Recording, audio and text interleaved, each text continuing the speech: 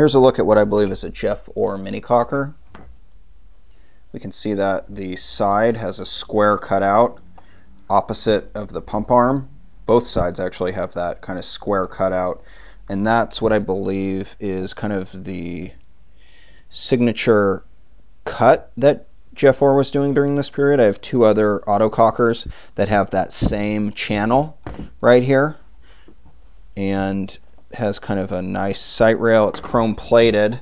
These are obviously not the stock parts that would have come on it. I would imagine that this body is probably mid 90s, probably 95, 96, but it has obviously this Dye hinge and Dye pneumatics and this Check-It Products barrel. I can't remember what this barrel is called. Let's see what it says. J series, J3 series, uh, J3, JR3 series, I think. So it has an STO bolt has these square cutouts around the side also.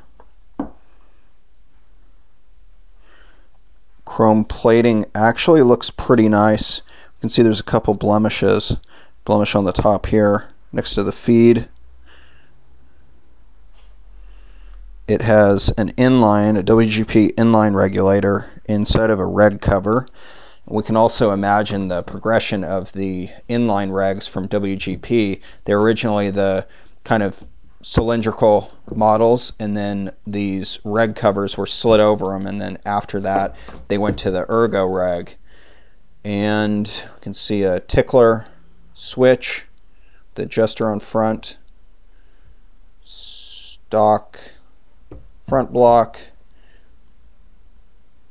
female ASA to male 8th MPT stainless banjo, almost looks like a cap banjo, bolt, chrome, cocker, detent, Dye sticky grips.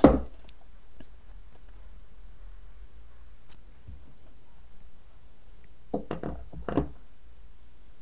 be parting this out and rebuilding the body with WGP parts.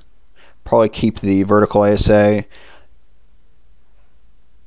and the inline with Ergo Reg on it.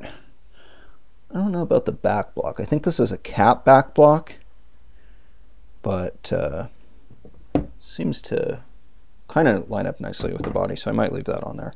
Has a unique sticker on the side.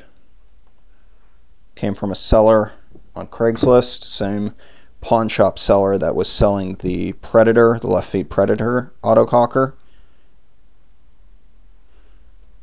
do not know the history of this.